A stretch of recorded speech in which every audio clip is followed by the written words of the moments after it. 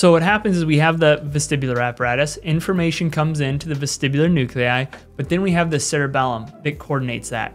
And it's really the midline cerebellum is a big aspect of that. The the flocculonodular lobe is a big aspect of that.